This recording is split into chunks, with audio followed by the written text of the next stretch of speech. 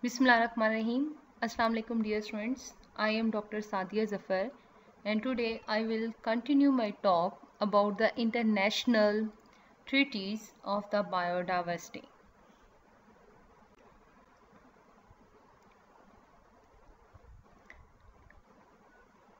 As we have discussed in last lecture about the biodiversity related conventions Basically, the biodiversity related conventions were to implement the action at national, regional and international level in order to reach the shared goals of conservation and sustainable use of biodiversity. Means they focused on the conservation of biodiversity and sustainable use of natural resources or sustainable use of the biodiversity.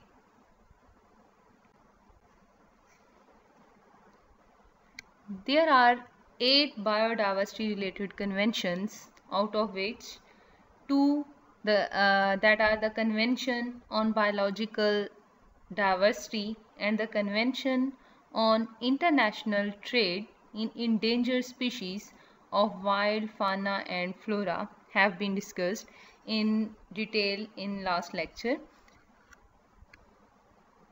and now we will discuss the remaining biodiversity related conventions. The third biodiversity related convention is Ramsar Convention on Wetlands which is also known as Ramsar Convention that provides the framework for national action and international cooperation for the conservation and wise use of wetlands and their resources. The convention covers all aspects of wetland conservation and wise use recognizing the wetlands as ecosystems that are extremely important for biodiversity conservation in general and for the well-being of human communities. This convention was adopted in Iranian city of Ramsar in 1971 and came into force in 1975 and it is the only global environmental treaty that deals with a particular ecosystem. Background of this convention is increasing the concern over the rapidity with which large stretches of marshland and wetlands in Europe were being reclaimed or otherwise destroyed with a resulting decline in number of waterfowl in 1962 that led to formation of Ramsar Convention under the guidance of Professor G.V.T. Matthews in 22nd Feb 1971 at Ramsar, Iran.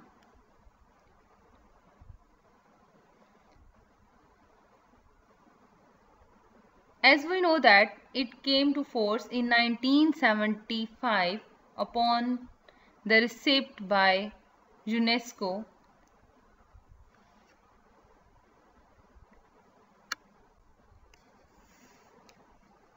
Mission of Ramsar Convention the convention's mission is the conservation and wise use of all wetlands through local, regional and national actions and international cooperation as a contribution towards achieving the sustainable development throughout the world.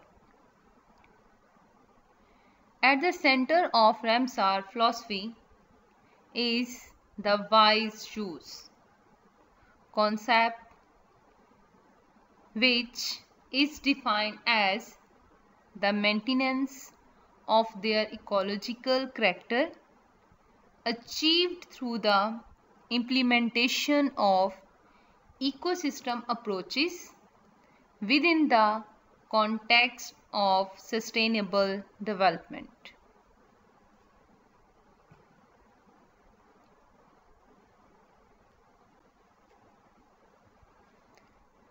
Why Ramsar Convention focused on wetlands.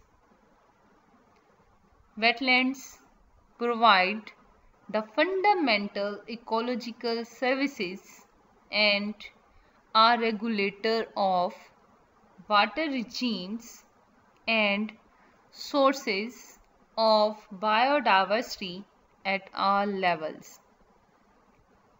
Wetlands constitute a resource of great economic, scientific, cultural and recreational value for the community. Wetlands play a vital role in climate change adaptation and mitigation.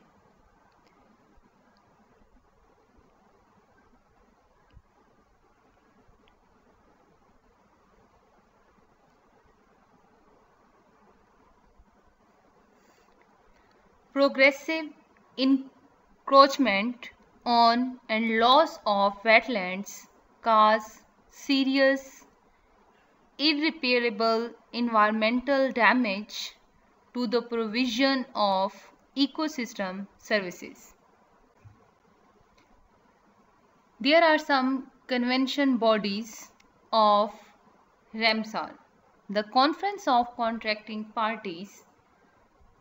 It is the policy making body of the convention. The Standing Committee that oversees the implementation between meetings of the Conference of Contracting Parties and Scientific and Technical Review Panel. It is the convention's scientific advisory body and Ramsar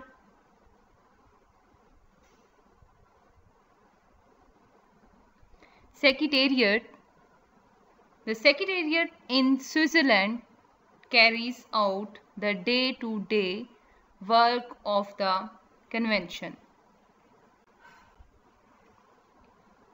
Contracting parties or member states of the Ramsar Convention.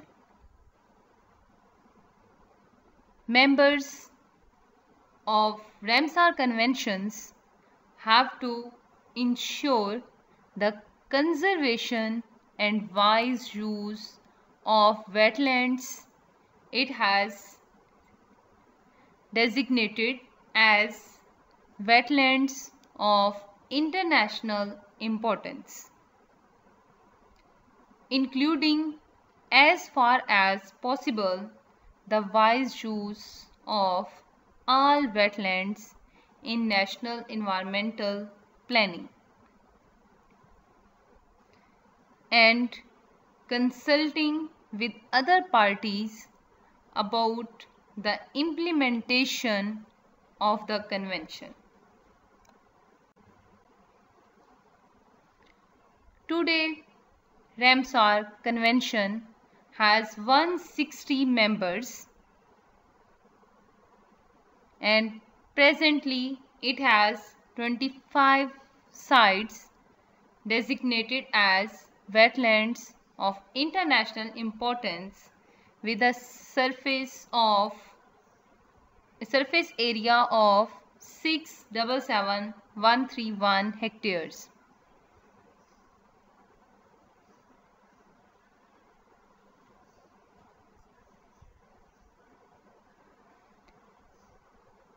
There are some wetlands. The Conference of Parties adopts a core budget administered by Ramsar Secretariat. Ramsar Convention celebrates the 22nd Feb as World Wetland Day. And by January 2008, more than 1700 wetlands have been included in Ramsar list.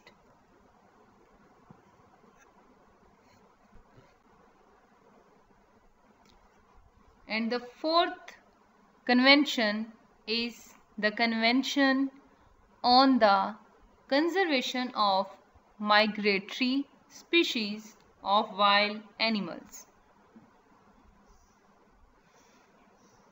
That is also known as Bonn Convention that aims to conserve the terrestrial, marine, avian, migratory species throughout their range.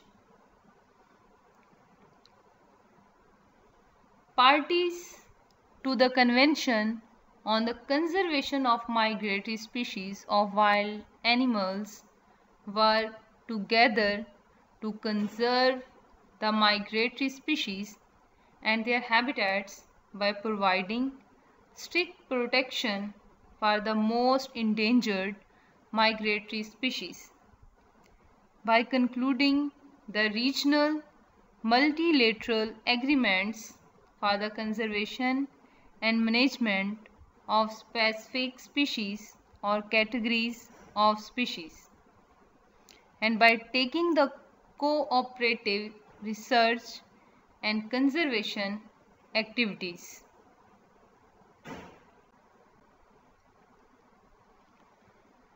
And the fifth convention is the International Treaty on Plant Genetic Resources for Food and Agriculture. The objectives of the International Treaty on Plant Genetic Resources for Food and Agriculture Convention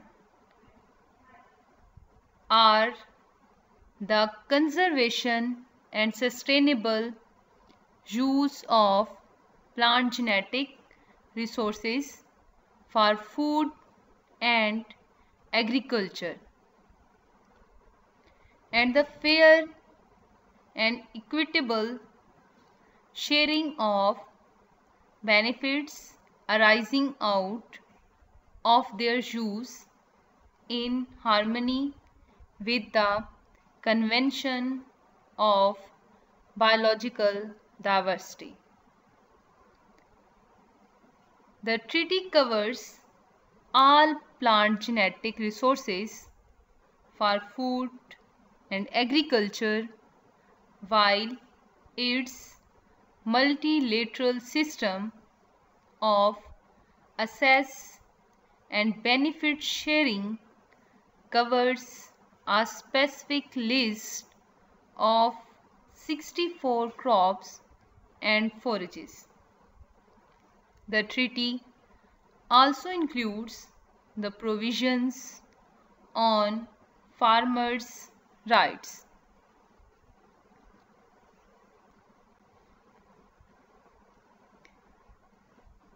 The sixth convention is the World Heritage Convention.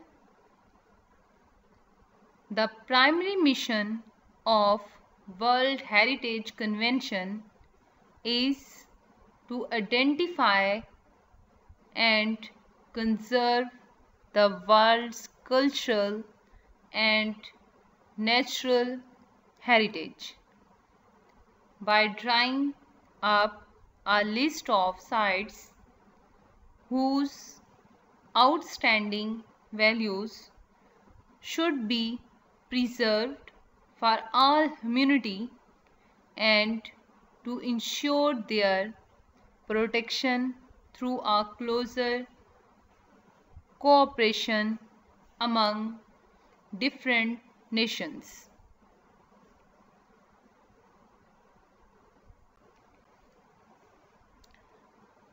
And the seventh convention is about the International Plant Protection Convention.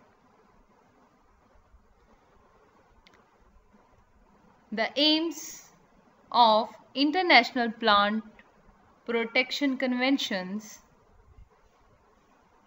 are to protect the world plant resources including the cultivated and wild plants by preventing the introduction and spread of plant pests and promoting the appropriate measures for their control. The International Plant Protection Convention provides the mechanism to develop the international standards for phytosanitary measures and to help the countries to implement the international standards for phytosanitary and the others obligations under the International Plant Protection Convention. By facilitating the national capacity development, the national reporting and dispute settlement.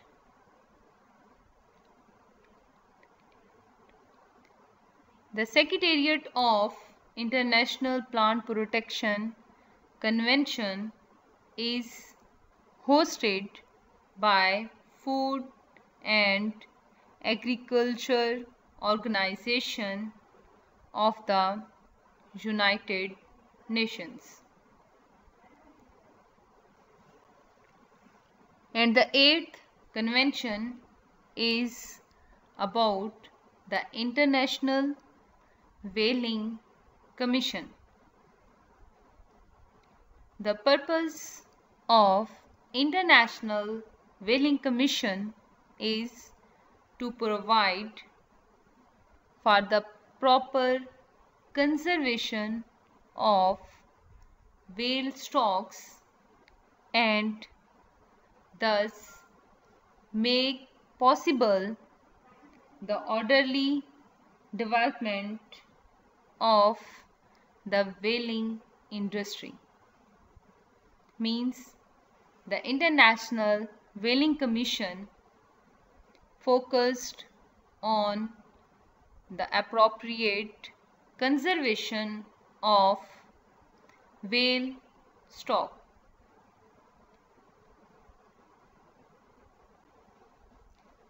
So this is all about the international treaties in which we have discussed the different conventions related to the biodiversity that mainly focused on the conservation of biodiversity as well as the sustainable use of biodiversity or natural resources.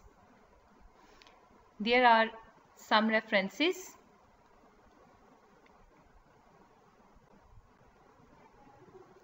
and thanks very much for your attention.